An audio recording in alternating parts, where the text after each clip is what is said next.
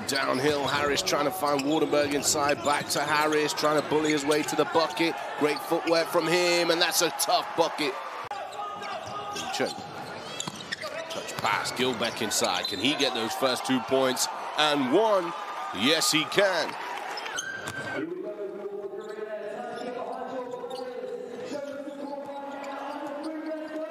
Oh, Euro step there. Sam Waardenburg onto the left for two.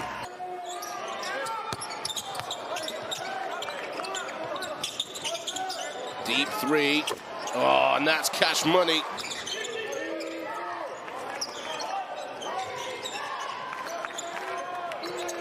Deep three. Oh, and that's on the money on the buzzer. Oh, four for 20 from three-point territory.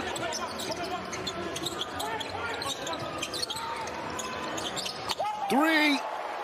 Money.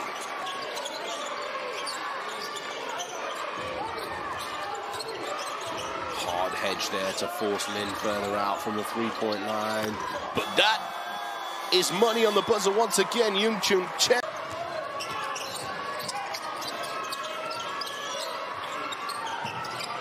Three goes up, the three goes down. Not winding down. Cameron stripped away, pushing forward. Adiaga to the bucket. It's good. Adiaga for two. Missed the shot. Made a shot they need to immediately be focused on defense. And one is good to go. It will count. Walter Brown allowed to cut straight through the paint. And the faction share Illy to the reverse. That's a tough finish for him. And one. Oh, and almost turned over. It will be turned over. Bogdanovic to the left. It's good.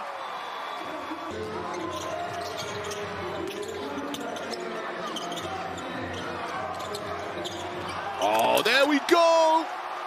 No look pass to the corner. Ball rotates. Three goes up. And there it is.